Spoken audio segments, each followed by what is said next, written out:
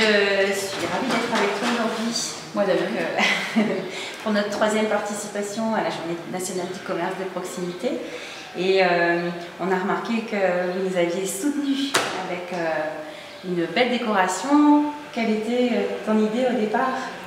Eh ben, En fait, on a voulu, au sein du conseil municipal, vraiment soutenir la journée du commerce en décorant la mairie à l'effigie de la JNCP pour montrer à quel point il y a un partenariat profond à Romal entre les commerçants et la municipalité. C'est vraiment ensemble qu'on fait prospérer euh, du mieux que possible le commerce. On sait que les choses sont, difficiles, qu'il faut soutenir le commerce local. Et c'est pour cela qu'on a vraiment voulu montrer que d'un point de vue national, euh, Omal avait sa grande place dans le commerce.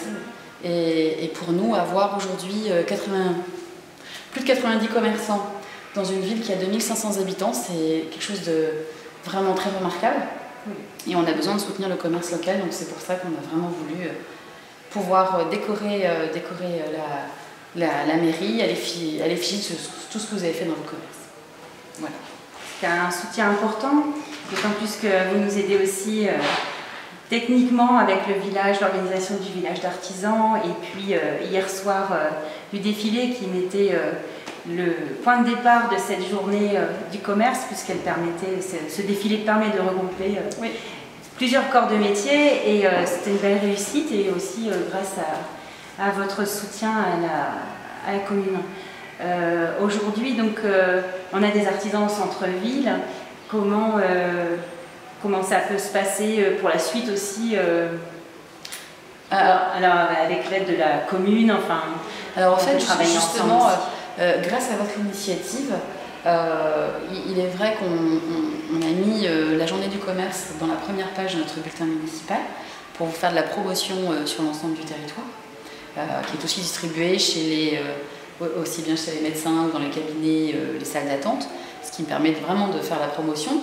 Bien sûr, c'est toujours encourager le client à, rentrer dans le commerce pour découvrir ce qu'il y a à l'intérieur et c'est pour ça que euh, bah, votre option d'offrir le café, le, petit gâteau, bah, ça a le côté sympathique et, ça permet de, promouvoir. Après, sur les artisans, en fait, nous avons euh, l'idée de, créer une espèce d'association euh, des artisans et, des chefs d'entreprise au Malois, qui n'existe pas à ce jour, de telle façon à ce que vous ayez un, soutien supplémentaire dans le cadre de, l'union commerciale. Donc c'est un projet qui me tient à cœur, ça se fait dans des, grandes villes, mais il n'y a pas de raison qu'au Mal qui a beaucoup en fait de, pôles verriers, mais aussi euh, d'activités diverses, euh, n'est pas son pôle de chef d'entreprise.